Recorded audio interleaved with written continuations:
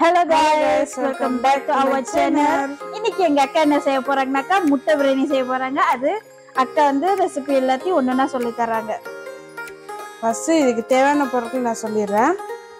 வெங்காயம் மூணு எடுத்திருக்கேன் தக்காளி மூணு எடுத்திருக்கேன் பச்சை மிளகா மூணு எடுத்திருக்கேன் ஒரு கைப்பிடி அளவுக்கு கருவேப்பிலை எடுத்திருக்கேன் பாதி லெமன் எடுத்திருக்கேன் அதுக்கப்புறம் ஒரு கைப்பிடி அளவுக்கு புதினா எடுத்திருக்கேன். புதினா மல்லியும் சேர்த்துருக்கேன் ஓகே? தயிர் இங்கே நெய் எல்லாம் எடுத்து வச்சுட்டு இப்போ வாங்க ஸ்டார்ட் பண்ணலாம். ஃபர்ஸ்ட் என்னக்கா போடணும்? ஃபஸ்ட்டு வந்து நம்ம எப்போவுமே நெய் தான் சேர்ப்போம். ஃபஸ்ட்டு நம்ம நெய் சேர்க்கலாம். நெய் எவ்வளோ அளவுக்கு இருக்கும்? ஒரு ஒன்று ஒரு ஸ்பூன் அளவுக்கு நான் எடுத்துருக்கேன். ஒன்றரை spoon pertama kakak saya letak uh, minyak sapi uh, sebanyak satu setengah su- sudu lah lepas tu diletak uh, minyak minyak berapa நான் மூணு ஸ்பூன் அளவுக்கு எடுத்திருக்கேன் tiga sudu besar lah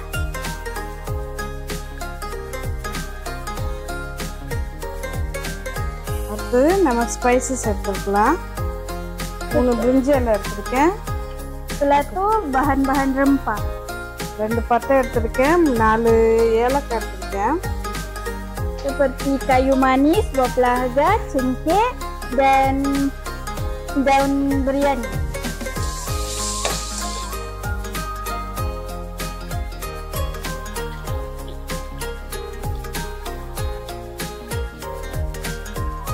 இப்போ நம்ம வெங்காயம் எடுத்து போட்டுக்கலாம்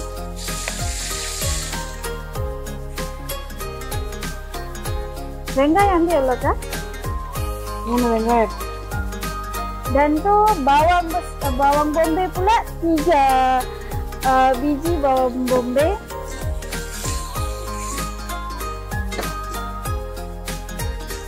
இது வந்து நம்ம தாளிச்சு போட்ட பிரியாணி இதுலயே நம்ம செய்யறது இல்லை இங்க நம்ம தாளிச்சுட்டு அதுக்கப்புறம் பிரியாணி வந்து தனியா நம்ம செய்யணும்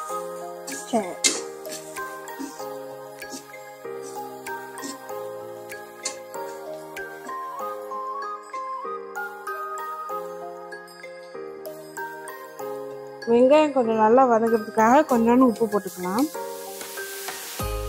letak sedikit garam untuk uh, bagi cepatkan masak bawang tersebut tu lah.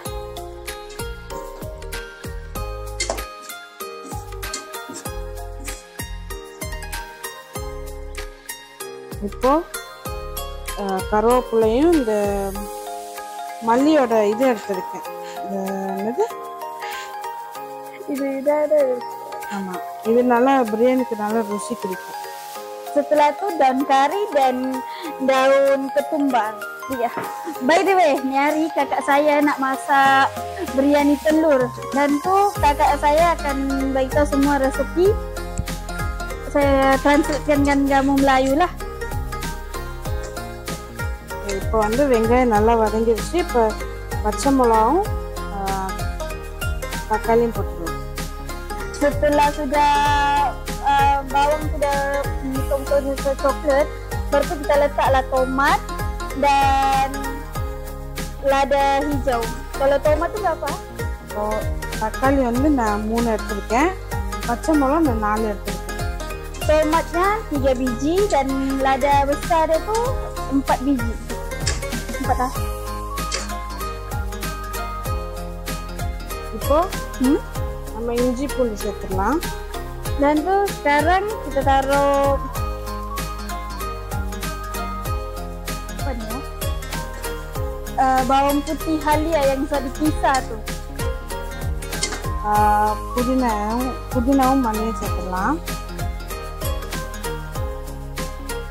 Dan pula daun pudina dengan daun ketumbar lagi sedikit untuk bagi aroma-aroma yang wangi je lah. இப்போ தேவையான அளவுக்கு மஞ்சள் தூள் Dan pula kunyit. Dan tu அதுக்கப்புறம் மிளகாத்தூள் serbuk lada. Serbuk lada berapa? ஆஹ், மூணு table spoon மூணு table spoon அளவுக்கு ஏன்னா நம்ம வந்து மொ- வேற மசாலா எதுவும் சேர்க்க போறதில்ல வெறும் மிளகாத்தூள் தான் சேர்க்க போறோம் அதனால அது மட்டும் Uh, serbuk lada tu tiga sudu besar sebab kita tak ada taruh taruh uh, rempah yang lain, cuma serbuk lada sahaja. So uh, um, tiga sudu besar lah serbuk lada. இப்போ நம்ம தயிர் ஊற்றிக்கலாம் ஆனால் பிரியாணிக்கு ஹைலைட்டே வந்து தயிர் தான் அதனால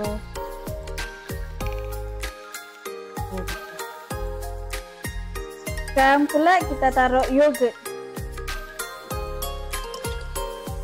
இதான் பிரியாணிக்கான மசாலா ஓகே இப்போ வந்து லெமன் போட்டுக்கலாம்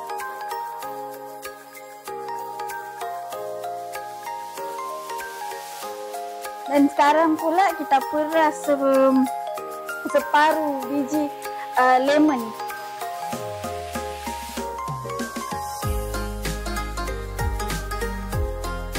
அதுக்கப்புறம் தேவையான அளவுக்கு உப்பு போட்டுக்கணும் அந்த முட்டையை வந்து இதில் போட்டுக்கணும் Itu selepas tu kita taruh setelah letak garam kita taruh um, telur yang sudah direbus ya.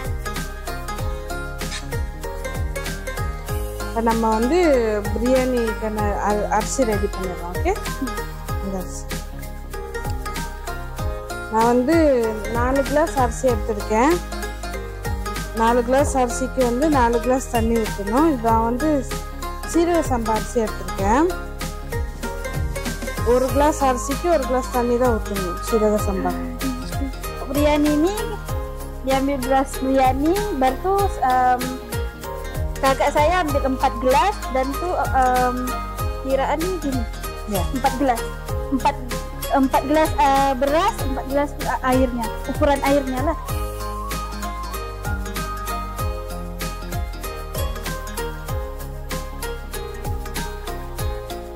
வந்து அரிசி கொஞ்சம் நேரம் ஆ, அஞ்சு நிமிஷத்துக்கு ஊ- ஊற வைக்கணும் அப்பதான் அரிசி நல்லா ஆ, சோறு வந்து நல்லா உதிரி உதிரியா வரும் இப்போ வந்து அஞ்சு நிமிஷம் ஆயிடுச்சு அரிசி நான் நல்லா கழுவிட்டேன் இப்போ வந்து ஃபர்ஸ்ட் நம்ம அரிசியை போட்டுடலாம் okay setelah sudah lima minit direndam kita per- pertama kita letak beras tu dalam rice cooker tu lah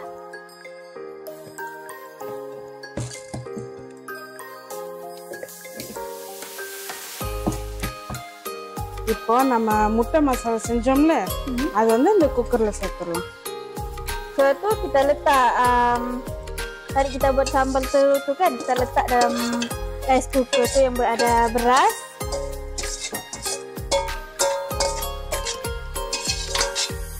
okay இப்போ வந்து நம்ம நாலு கிளாஸ் அரிசி எடுத்துருக்கனால நாலு கிளாஸ் தண்ணி தான் நம்ம ஊற்றணும்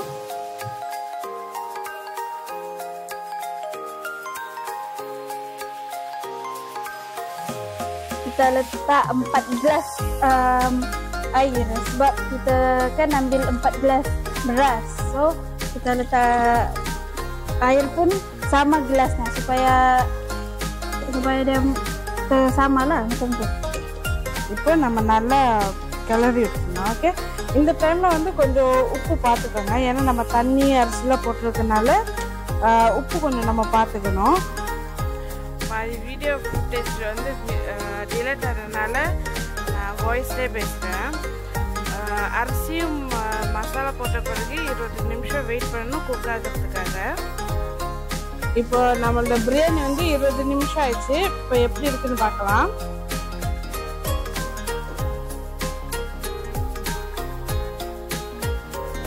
இப்போ பார்த்தீங்கன்னா அரிசி ந- சோறு நல்லா உதிரி உதிரியாக வருது. நம்ம கரெக்டான அளவில் தண்ணி ஊற்றுறோம்னாக்கா நான் இந்த மாதிரி கரெக்டான உதிரி உதிரியாக கிடைக்கும் Setelah 20 minit kita tunggu dah pun hampir hampir masak. Eh memang kau masak boleh kan? Ya. Okay இப்போ வந்து நம்ம தட்டில் சர்வ் பண்ணலாம் Kalau boleh saya kita hidangkan lah. நம்மளோட பிரியாணி வந்து சூப்பராக ரெடி ஆயிடுச்சு நீங்களும் ட்ரை பண்ணி எங்கள் கமெண்ட் பாக்ஸில் கமெண்ட்ல சொல்லிடுங்க So itu lah guys. Kita sudah di pengakhiran uh, video. So don't forget to like and share and subscribe to my channel. Bye guys. Bye.